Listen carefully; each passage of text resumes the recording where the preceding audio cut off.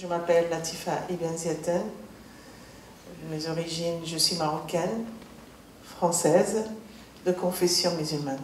Et heureuse de vivre en France, pays qu'elle a rejoint à l'âge de 17 ans. Aux élèves et aux adultes qui ont assisté et participé à sa conférence, Latifa Ibn Ziaten a présenté son parcours ponctué de hauts et de terribles bas qu'elle a toujours su affronter avec beaucoup de courage. Elle a notamment eu l'immense douleur de perdre son fils Imad, assassiné par Mohamed Merah le 11 mars 2012. C'était la première des sept personnes que le terroriste tuera en un peu plus d'une semaine. Dix ans après, cette perte cause encore à Latifa beaucoup de peine, mais pas de haine envers l'assassin de son fils. Alors j'ai suivi sa son parcours de ce jeune homme, un parcours abîmé, atroce. Mais je ne peux pas pardonner la mère, parce que sa mère, elle était responsable. Vous savez, en France, on peut dire tout ce qu'on veut, mais la France, quand on a quatre enfants, on est aidé.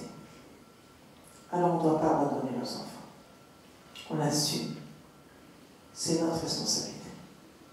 Chaque parent doit être responsable de son enfant. Et quand il arrive par moi des problèmes, je demanderai de l'aide, je n'abandonnerai jamais mon enfant. Et cette femme, il a abandonné son fils de foyer au foyer et regardez ce que ça donnait. Un terreur. Qu'est-ce qu'il a fait en France? Il a fait de la terreur. Il a fait Qu'est-ce qu'il a laissé derrière? La souffrance. Il est parti. Alors je lui ai pardonné ce qu'il était, mais ce qu'il a fait, je lui Dieu le jugera. Mais pas moi. Depuis dix ans, Latifa Ibn Ziaten se déplace dans le monde entier et rencontre énormément de personnes.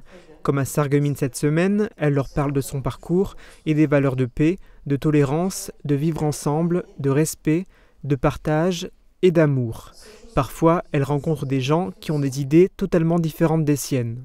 Alors ces jeunes qui ont cette tête de haine contre la France, je pense qu'on a la haine contre la France, on ne doit pas rester ici. On doit partir. Quand on aime la France, on l'aime avec sa valeur, avec sa richesse, avec son respect, avec son histoire. Sinon, ça sert à rien de rester. Des mots forts, authentiques, qui ont valu à Latifa l'obtention de nombreuses récompenses. Elle est notamment devenue chevalier de la Légion d'honneur.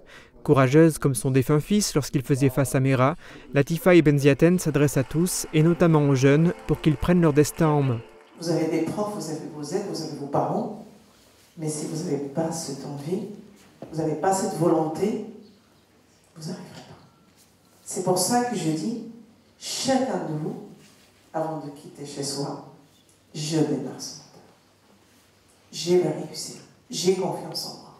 Des paroles qui font mouche.